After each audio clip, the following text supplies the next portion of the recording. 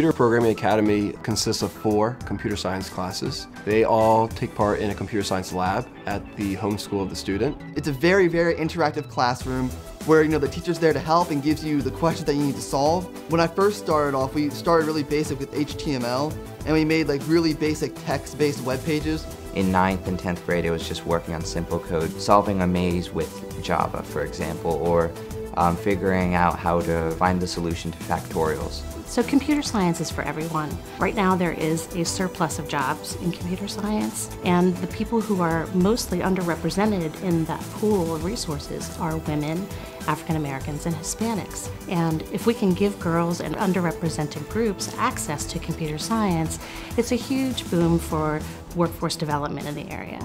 So it's the first time that I actually understood that this is a new language and it opened my eyes to that computers aren't what you, everyone thinks of them. There's an other side to it.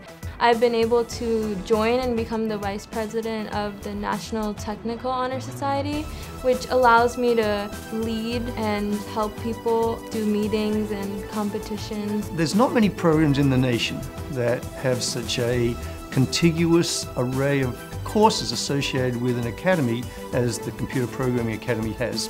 And by the time they leave high school, they've actually taken at least one AP course, so they have a lot of problem solving experience. They know how to code. As you move on further, those moments become more and more exciting, especially when you can show the products of your code to other people and they can recognize that, wow, that's something playable, it's something good and useful. Because of the skills that they gain, some of them do have the same skill level as a sophomore in college, and so now they're able to sign up and be accepted for internships. We have students that internship at the NSA or at the uh, Applied Physics Lab. In their final year, they do a very large portfolio project, which gives them an opportunity to really show their worth by developing something for an entire year. We decided to make a browser game that is an online multiplayer game. So any person in a browser can hop on and play. If you know how to type, you know how to program. And if you have never programmed before, don't let big networks and really long programs, all this code intimidate you because it's really not as hard as it seems. Computer science is more than just